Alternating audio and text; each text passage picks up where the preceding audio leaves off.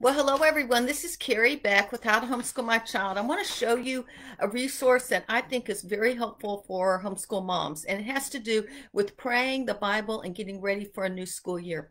It is called the Homeschool Mother's Prayer Journal. It's a new school year. It's by my friend Rebecca Brandt, and yet she's given this book to me to be able to offer to families and to moms in particular. And so actually the forward is written by Rachael Carman of Apologia.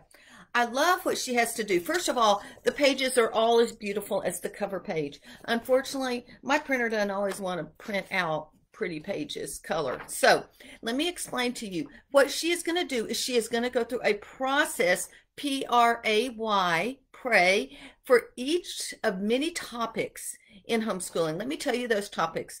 They are family focus, schedule, curriculum, fear and doubt about homeschooling, depression while you're homeschooling, anger at your kids while you're homeschooling, praise and thank you, and some additional journal pages as well.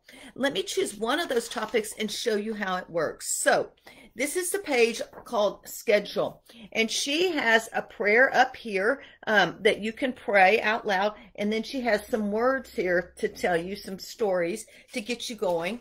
And it actually goes to the next one. Oh, I forgot to turn print out. There is a page P-R-A-Y, and for each one of those, you are going to actually, I can't believe I didn't, they're printed somewhere. Well, she has a scripture at the top and then P-R-A-Y and gives you a specific thing to do for each one of those. So schedule, that would have three or four different Bible verses to look up. You do them one at a time, one day at a time, and then you would actually work through those and answer your questions and then pray for that particular topic, like praying for a schedule. Then for each one of these topics, she has an activity. And she says, write your schedule and activities through the entire week. And then she has a few questions for you to answer. How do those activities fit into your family mission? Identify activities that are fulfilling this mission. Identify activities you need to pray over possibly canceling. And so she gives you very specific things that you need to do.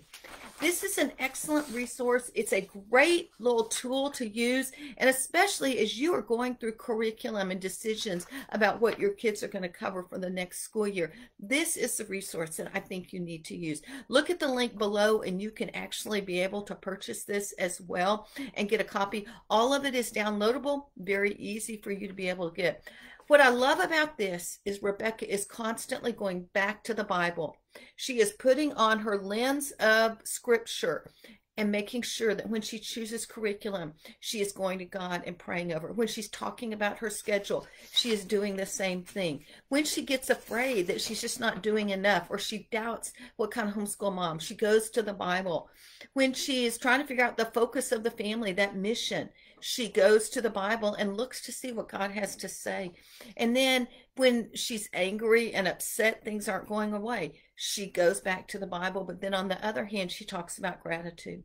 So it's a great little resource for you to use. So I would highly encourage you take a look at Homeschool Mother's Praise Prayer Journal, a new school year. And I will put a link in the comments so you'll know where you can get more information.